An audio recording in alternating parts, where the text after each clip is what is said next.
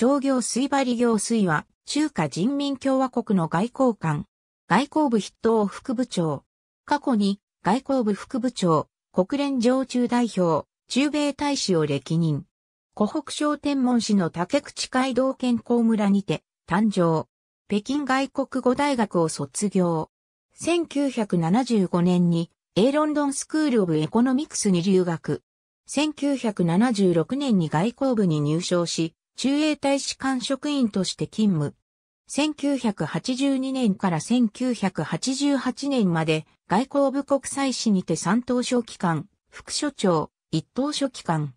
1988年から1992年まで国連代表部にて一等書記官、三時間。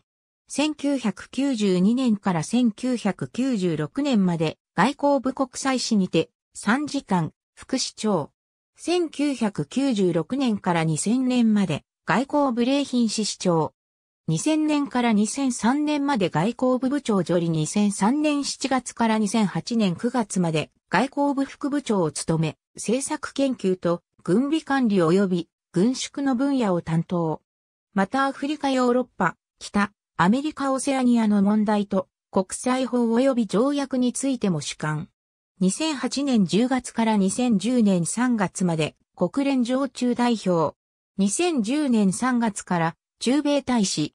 2013年3月から外交部筆頭副部長。